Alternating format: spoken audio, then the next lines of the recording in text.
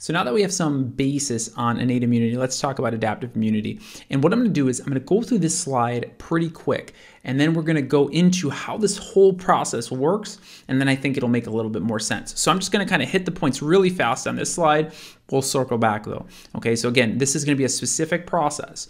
Okay, so we're targeting a specific antigen, a specific epitope usually, or you know, a specific group of epitopes potentially. The speed in general, when we're talking about adaptive, it's gonna take us time to adapt adapt to that response. However, if we're exposed to that pathogen in the future, we have a heightened response from previous, and that's because we have some memory that's present after the exposure.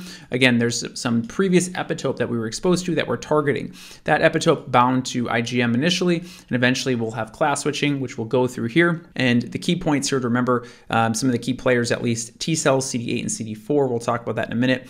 B cells that can turn into these antibody producing factories, plasma cells, um, specific immunoglobulins after class switching. So these are all part of the adaptive immune response. And again, I'm gonna go through all this in a second. I'm just kind of introducing it here. So the primary function here again is gonna be recognition and resolution of a previously encountered infectious agent. For example, people that may have been exposed to COVID-19, right? They may have developed some memory response to future exposures. But then when you introduce new things like a Delta variant, for example, that might change the body's ability to respond to that pathogen because now maybe it has some protection against that epitope that we were using to mount an immune response against. So we'll get into the details on that. It's going to involve more of VDJ recombination and hypervariation as opposed to having something that's germline encoded. With VDJ recombination, which we'll go through this all in the antibody video, we're generating different receptors that can hopefully target that epitope that we're being exposed to. Okay, so the key here is these are not germline encoded. They don't come from mom and dad, right? It's not like the innate immune uh, system. These are all going to come from our initial processes of VDJ recombination when we're creating the variation in our receptors to have something that hopefully can bind to some of these epitopes. Let's go through what this process of adaptive immunity looks like. And this is really going to be the first layer uh, into these immuno videos that kind of put the big picture together on what's happening here because it's really easy to get lost in the weeds on some of this stuff. So the first thing is, like I said, dendritic cells are going to be our poster child for antigen presentation. All right, so let's see how this process starts off. So we're going to go back to our example in the last video. We had some bacteria potentially that you know came into the bloodstream, and uh, we talked about what the neutrophil can do in the in the macrophage. We can digest it. We can have it go through phagolysosomes, and we can even potentially present that antigen. And so that's what we're going to talk about here. How do we present that antigen?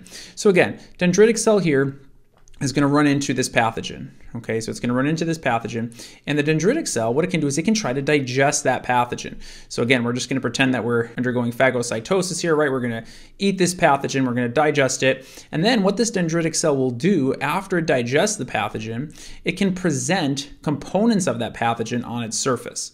Okay, so it can present components of this pathogen. Now remember what we just said, neutrophils do not undergo antigen presentation. It's important to know what cells actually do undergo antigen presentation.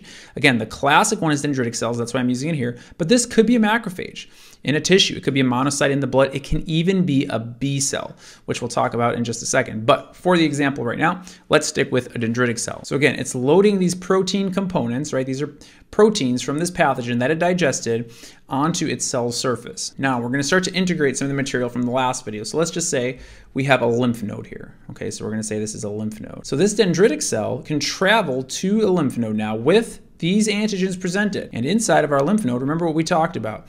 In the paracortex, right? In the paracortex, we're going to have some T cells here. Okay, so we're going to have some T cells.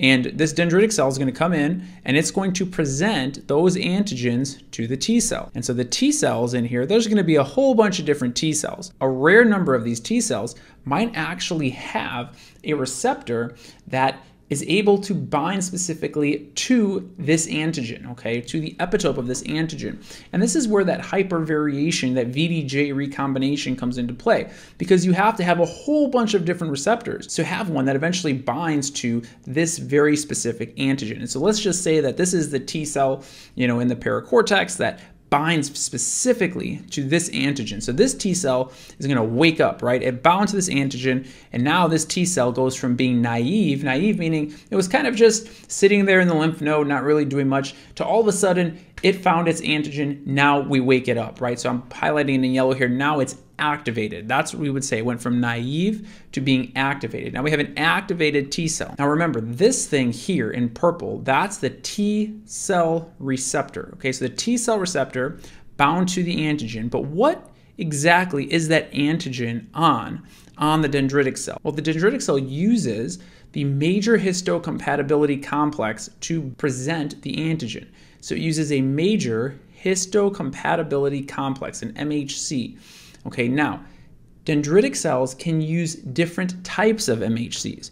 Okay, so it can load the protein components onto an MHC receptor 1 or an MHC receptor 2. And there's a consequence to this. And I'll talk about that in just a second. But just remember, it can load it on MHC 1 or it can load it on MHC2. And depending on which MHC it's on, it's going to target different T cells. And we'll talk about that in a second. All right, so this is the general process. We digested a pathogen, we took the components of that pathogen, we put it on our major histocompatibility complexes on our dendritic cell, went to a lymph node, presented it to a T cell that has that same type of receptor and activated that T cell. Now, I also told you that Interestingly enough, the B cells can also present antigens. So down here, I have my B cell. So what happens if my B cell runs into this pathogen? Well, the B cell can also phagocytose this antigen.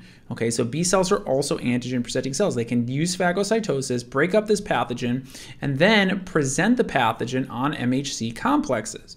Okay, so the B cells will also have these MHC complexes that they can use to present the antigen, kind of like the dendritic cell. The B cell can also go travel to the lymph node, right? It can go travel to the lymph node and it can find a T cell, just like the dendritic cell. And it can also, just like the dendritic cell, present this antigen to the T cell. Okay, so again, when the B cell goes to the lymph node, right, it's presenting the antigen on MHC2 to the T cell receptor on the T cell that matches that antigen, and then our T cell wakes up.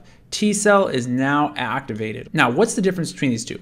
Okay, so let's talk about that. So when the B cell presents this antigen, remember, this T cell is going to get activated, and there's a specific connection that's going to happen between the B and T cell. And I'm going to talk about this more as we kind of move through the series here. So if you're a little overwhelmed, don't be overwhelmed by this yet, but this is going to be the CD40 CD40 ligand.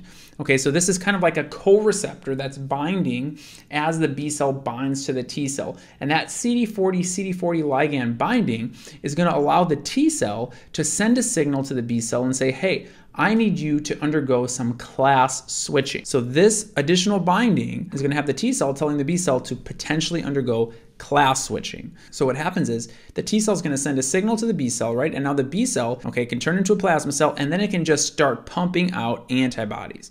Okay, and again, and if we undergo class switching, we might start pumping out antibodies like IgG, IgE, IgA. It's all going to depend on what type of cytokines that T cell releases to tell the B cell, hey, this is the antibody I need you to produce. I need you to class switch the heavy chain on IgM to IgG, IgE, IgA, all from this process where the B cell presented the antigen to the T cell. Okay, and like I said, we're to go into that in even more detail. I'm just kind of laying the framework because this is kind of a complicated process. Okay, but essentially, again, when the B cell binds here to the T cell, and we have CD40, CD40 ligand binding, the T cell will stimulate the B cell to become a plasma cell, which is essentially like an antibody producing factory, right, to produce these antibodies. Okay, and we can also have the class switching because of the CD40, CD40 ligand binding. That's the important part to remember. And this whole thing where we have all these antibodies being produced, this is known as humoral immunity. When you actually class switch to IgG or IgA or uh, IgE, that takes a while. That could take a few weeks potentially. And that's why we say, uh, you know, adaptive immunity in general, adapting these memory immunoglobulins. IgG, you think of more as your memory immunoglobulin. It shows that you were previously exposed to that pathogen. When you're looking at hepatitis, for example, very frequently we're going to look at the IgG. Again, it's going to differ depending on the type of hepatitis, but IgG is going to tell us we were previously exposed or we were vaccinated because we at some point we had exposure to that specific epitope or antigen. Whereas IgM, again, is going to be kind of more of a first line antibody or immunoglobulin. Okay, so IgG is part of the adaptive immune response. It takes class switching to get IgG. You have to have a B cell binding to a T cell,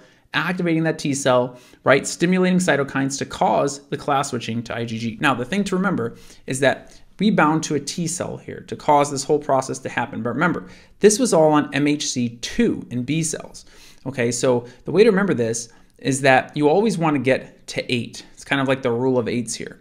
So if we have anything on an MHC2 receptor, if we multiply 2 by 4, we get to 8, which means the reason I'm showing you this is because MHC2 receptors will bind to CD4 positive T cells. Okay, so CD4 positive T cells are kind of like your helper T cells. Okay, so the helper T cell, so this in this case would have been a CD4 positive T cell because the B cell loaded it on MHC2. And we want helper T cells to release cytokines to help stimulate these B cells to turn into plasma factories. Okay, so that's how you remember. If anything is loaded on MHC2, it's going to bind to CD4 positive T cells. Those are the helper T cells. Now, conversely, with our rule of eights, if we load something on MHC1, right, 1 times 8 equals 8. So this cell up here, let's say that we loaded it on MHC1 on our dendritic cell. If we loaded it on MHC1, then it would have had to bind to a CD8 positive T cell. CD8 positive T cells are going to be your killer cells, okay, your cytotoxic T cells. And so these cells, what this CD8 positive T cell will do is it will actually release enzymes to destroy that dendritic cell. You might be saying, well, why is it destroying it? Remember, the dendritic cell is infected with something. CD8 positive T cells usually will be very effective when we're talking about viruses. Most your cells should express MHC1. So if, you know, a T cell sees that another cell is expressing an antigen on MHC1 that's not supposed to be there, it thinks that that cell is infected. If you have a virus, that's exactly what happens. If a virus infects a cell, the T cell will recognize it on MHC1 and it will kill that infected cell. So the cell in some ways essentially sacrificing itself knowing that it's infected, right? Because a virus can hijack a cell and then use that cell that cell's machinery to make more viruses. And so the idea here is the CD8 positive T cell saying, hey, you're infected, you might be infected with the virus, let me wipe you out so that this virus doesn't reproduce even more. Okay, so that's like a very simple explanation to it, but that's essentially what's happening. And that's cell mediated immunity. The T cell is directly targeting the infected cell. So again, CD4 positive T cells are going to uh, bind to MHC2, which are very classic for the antigen presenting cells. In general, when these dendritic cells are presenting things to the T cells, you know, usually we'll talk about it with MHC2. The tricky thing here that I want you to remember though, and again, we're going to keep talking about this, is that in general, the cells that are going to be the antigen presenting cells, they're pretty much going to express MHC2. So this dendritic cell, it could express this pathogen on MHC1, it could express it on MHC2, for example. If it expresses it on MHC2, it would be binding to CD4 positive cells. So this dendritic cell can bind to CD4 positive cells or CD8 positive cells because it can load its protein components on MHC1 or 2. Almost all of your cells are going to express MHC1. Let's say it's not an antigen presenting cell. It's kind of just like your everyday cell in the body gets infected with a virus what happens is that T cell, CD8 positive T cell, if it runs into that cell, it's going to kill it, right? It's going to destroy it because it doesn't want that virus to reproduce. Okay, so when you think about MHC1 and CD8 positive T cells, think about kind of like your everyday cells expressing MHC1. Of course, dendritic cells also will express MHC1, um, but classically, we think about dendritic cells you know, usually with MHC2. So I don't want this image to confuse you too much. So just to recap this, going back to the innate immunity. This pathogen enters our body. We have a bacteria enters our body. Okay, the bacteria can run into a neutrophil, for example. The neutrophil might digest it, and then the neutrophil will, will try to break it down using the phagolysosomes, using respiratory burst pathway, and it's going to do all of that because it used a pathogen recognition receptor to recognize LPS, for example, on the surface of this pathogen. Okay, it might use toll-like receptors, right? Or it might recognize the bacterial flagellin. It'll recognize some pathogen-associated molecular pattern, right? That's what we talked about before. Using pathogen recognition receptors, very nonspecific, generates an immediate response. We have interleukin 1, interleukin 8, TNF-alpha being released for an acute inflammatory response. That's what happens initially. Now, eventually, we might have some antigen presenting cells that are going to run into this pathogen, like this dendritic cell, and it'll digest this pathogen. It'll present that pathogen on its MHC2 or MHC1. It could be either one. It'll go to the lymph node, present that to a T cell, activate the T cell that binds specifically to that antigen, right? And then that T cell can either destroy the dendritic cell if it's on MHC1, or the T cell can release cytokines if it's CD4 positive. Okay, B cells can do the same thing. B cells can run into this pathogen. They can present this pathogen to CD4 positive T cells on MHC2, and that can cause class switching. We can turn these B cells essentially into plasma cell factories, releasing some of these very specific markers that we talked about in the adaptive immune response. Okay, IgG being very classic to show that there's been some previous exposure because we had to have class switching prior. And remember, if we go back to the first video, as these B cells are pumping out these IgGs, IgEs, IgAs, remember, they're all going to happen in the germinal center of the lymph node, right? So you're going to get that pale staining in this area after these B cells have started to go through class switching and are starting to kind of replicate themselves. You know, just remember, the majority of these B cells might go to be plasma cells, but there'll be a small number that kind of hang around in the lymph node and become memory cells. Okay, and that's true for the T cells too. There'll be some memory cells that stick around.